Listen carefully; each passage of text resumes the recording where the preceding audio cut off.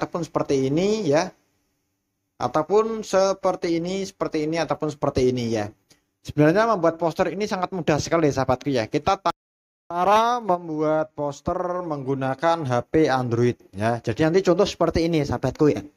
Jadi ada beberapa tahap yang akan saya sampaikan ya ya. Jadi sahabatku bisa membuat poster seperti ini ya. Entah seperti ini ataupun seperti ini ya di bulan Ramadan ataupun seperti ini ya ataupun seperti ini ataupun seperti ini ya. Ataupun seperti ini seperti ini ataupun seperti ini ya. Sebenarnya membuat poster ini sangat mudah sekali sahabatku ya. Kita tanpa menggunakan komputer kita cukup memakai HP saja ya. Ya nanti banyak sekali pilihannya sahabat ya. Sahabatku ingin membuat poster promosi bisnis atau membuat poster tentang Ramadan atau membuat poster dengan ucapan selamat Idul Fitri nanti suatu saat ya. Ataupun tahun baru ya. Jadi di sini lengkap sekali akan saya kasih tahu solusinya untuk cara mengedit atau membuat poster menggunakan HP Android sangat mudah sekali ya. Untuk langkah yang pertama yang perlu kalian lakukan memang kita membutuhkan satu aplikasi sahabatku ya.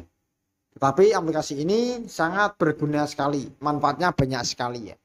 Sahabatku silakan ketikkan saja di Play Store yang namanya Canva. Silakan untuk sahabatku bagi yang belum tahu aplikasi ini, silakan nanti untuk mendownload aplikasi ini ya. Nanti saja ya. Ya, sebelum mendownload ya, kalian bisa tonton video saya ini sampai selesai, oke? Nah, setelah sahabatku download Canva di HP Android kalian, langsung saja sahabatku klik buka. Nah, setelah seperti ini kita akan bawa ke sini sahabat ya. Setelah sahabatku mendaftar, nanti kan awalnya sahabatku mendaftar ya. Silahkan sahabatku tinggal ditautkan saja email sahabat ataupun nomor HP sahabat ataupun Facebook sahabat. Tinggal sahabatku klik saja ya. Untuk cara daftarnya ya. Nanti otomatis langsung masuk ke sini sahabat ya. Nah, setelah masuk ke sini, sahabatku tinggal pilih saja, ketik saja di telusuri konten Anda ya. Kita klik di sini. Ya sahabatku ingin membuat konten apa atau membuat post poster apa ya. Contoh saya akan membuat poster mungkin jualan dulu ya. Jualan. Kita klik. Nanti di sini tuh banyak sekali sahabat. Akan muncul beberapa contoh poster yang ingin sahabat buat ataupun sahabat ingin mengeditnya ya. Contoh seperti ini ya seperti ini ya. Setelah seperti ini saya akan memilih satu contoh ya Misalkan saya pilih yang keripik singkong ini. Saya akan klik saja. Ya, setelah kita tunggu sebentar sahabat ya. Nanti akan saya kasih tahu untuk dua ya, dua cara ya.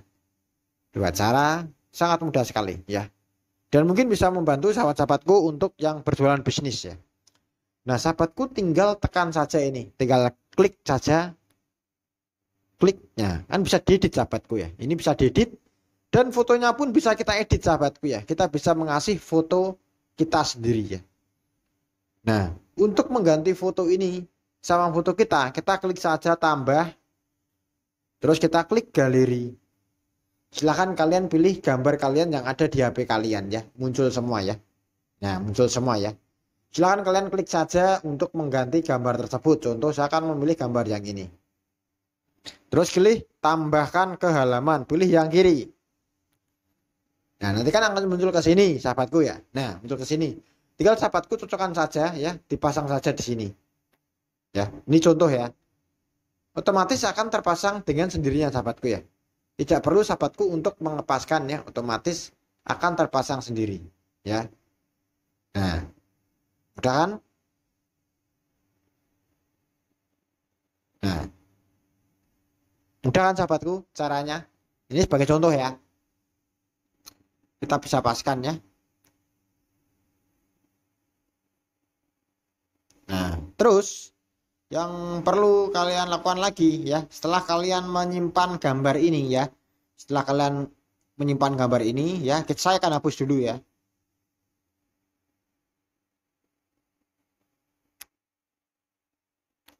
Saya akan hapus dulu, kita ulangi lagi ya.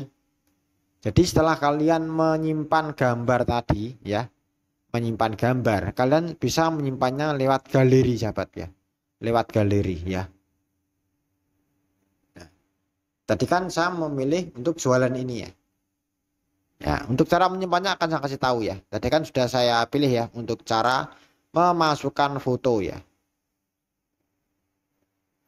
Ini sangat bagus sekali sahabatku ya. Tidak usah bayar, ini pun gratis ya. Kita klik untuk ini, keripik singkong, kita klik sini. Misalkan saya edit ya. Keripik singkong dan GCS gitu ya. Oke, kita klik layar. Untuk cara menyimpannya sangat mudah. Kita klik yang tanda panah atas. Terus sahabatku tinggal pilih untuk unduh. Kita klik unduh.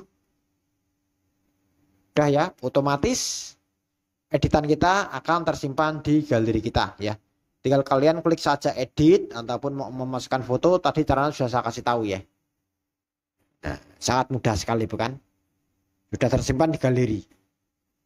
Terus saya akan contoh, contoh lagi, misalkan kalian ingin membuat poster untuk Ramadan ya, ataupun untuk Idul Fitri nanti ya, ataupun untuk saat bulan-bulan tertentu ya, atau pas tahun baru ya, ataupun untuk saat ini bulan Ramadan ya. Jadi kita cukup ketikkan saja.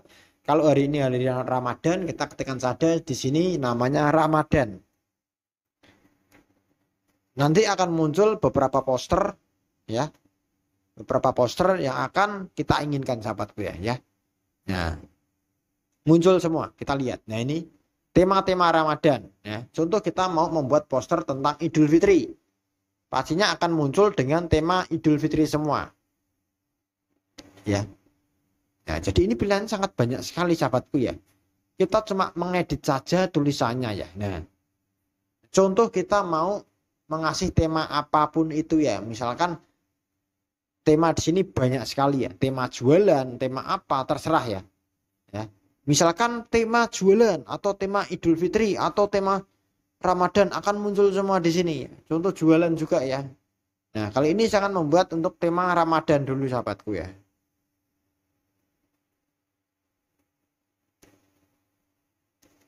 Ramadan.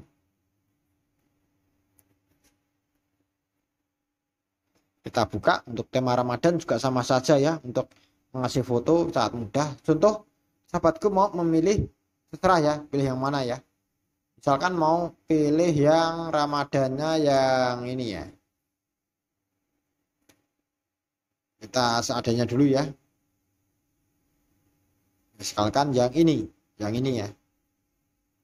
Sahabatku silahkan mengeditnya ya sangat mudah sekali ya. Untuk tema Ramadan ataupun tema jualan terserah ya. Sahabatku silahkan klik saja ini kalau mau mengganti nama silahkan ganti nama ya.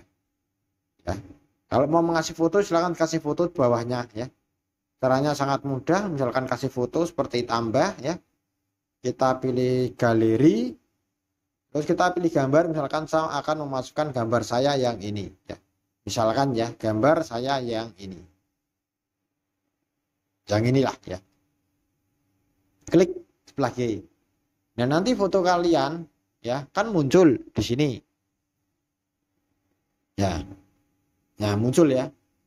Kalian perkecil nanti wajah kalian bisa kalian taruh di sini. Nah, ya misalkan ini wajah kalian ya. Nah seperti ini ya.